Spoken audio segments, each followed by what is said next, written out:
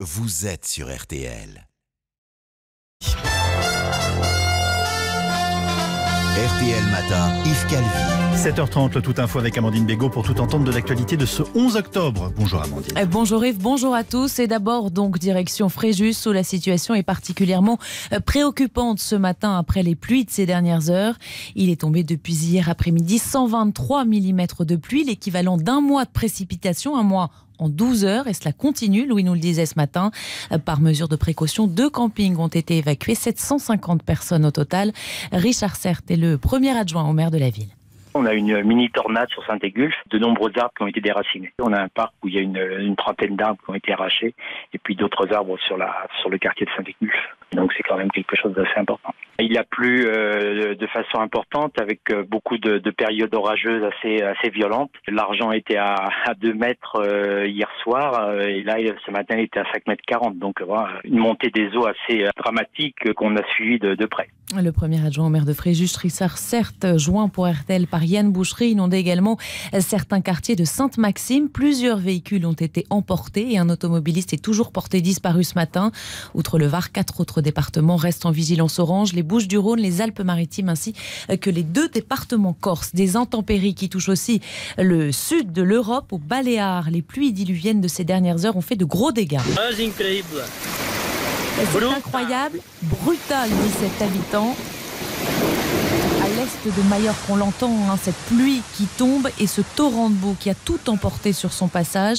Dix personnes ont été tuées, dont plusieurs touristes, deux Britanniques et une Néerlandaise. Un enfant est toujours porté disparu ce matin. Et puis aux États-Unis, l'ouragan Michael a fait lui une première victime cette nuit en Floride.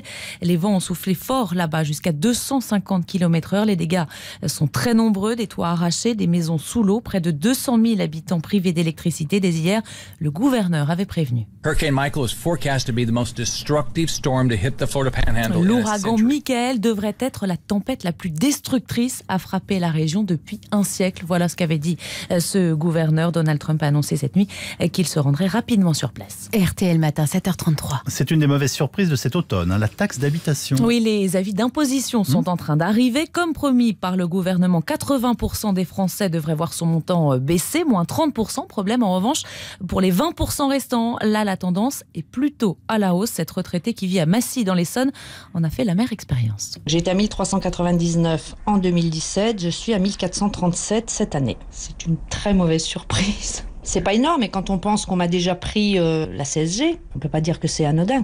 Les témoignages de Chantal au micro RTL de Marie Mollet. Selon un rapport parlementaire, ce sont 5680 communes qui ont décidé cette année d'augmenter la taxe d'habitation. Pas le choix, dit par exemple le maire de Daumont dans le Val d'Oise. L'expérience des différents gouvernements sur les compensations des divers impôts, taxes ou autres, à chaque fois a démontré que les compensations n'allaient jamais à la hausse, mais toujours à la baisse. En l'espace de quelques années, on a moins 1 million d'euros, ce qui est colossal, et donc il fallait reprendre un petit peu d'oxygène sur la ville pour maintenir cette qualité de La taxe d'habitation représente 30% de notre budget. Nous, le budget, c'est 15 millions d'euros. Donc si jamais on a 5 millions d'euros qui disparaissent à terme, c'est énormément de services et de moyens en moins. Et ça, c'est juste pas possible. Frédéric Bourdin, le maire de Daumont dans le Val d'Oise, propos recueillis pour RTL par Martial You. Emmanuel Macron, lui, est arrivé hier soir à Erevan, voyage de deux jours en Arménie, en Arménie qui risque, Olivier Bosque, forcément d'être un peu pollué par le casse-tête du remaniement. Normalement, ces deux jours dans la capitale arménienne auraient dû se résumer à un dernier hommage grandiose à Charles Aznavour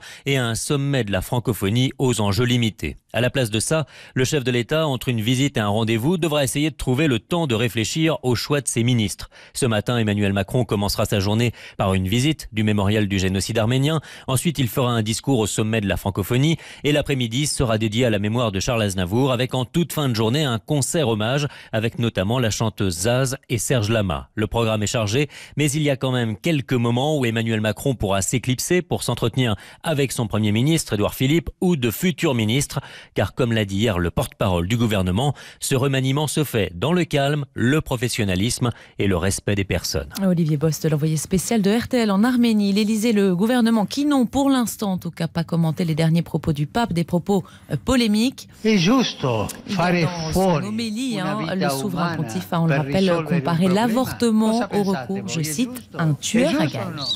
Le football maintenant, grosse ambiance hier à Guingamp. Hein. Oui, écoutez.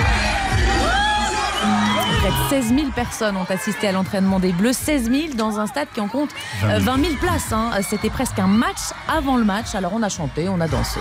Très satisfait. Belle journée en plus en Bretagne, faut le signaler. Non, très heureux d'avoir vu les champions du monde. Ils nous ont fait quand même l'honneur de nous présenter la Coupe du Monde. C'est magnifique de les voir en vrai s'entraîner. Ils sont simples, accessibles, abordables. Bah, je pense que l'équipe de France n'a pas l'habitude de voir une ambiance aussi chaleureuse et aussi familiale. Dans un petit club comme Guingamp, il y a des valeurs, c'est un côté très populaire. Et c'est vrai que ça colle parfaitement à l'image du club de Guingamp, mais aussi euh, ce que représente l'équipe de France. On a tous rêvé en voyant les images de cet été et on continue à rêver en les voyant ici, quoi. Donc c'est formidable.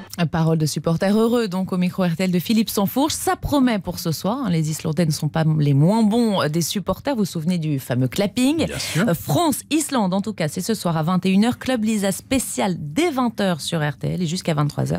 Avec bien sûr Pixente Lisa Razo et tout le service des sports. Un bon club Lisa et Oli. Alors c'était le tout info avec Amandine Bégaud.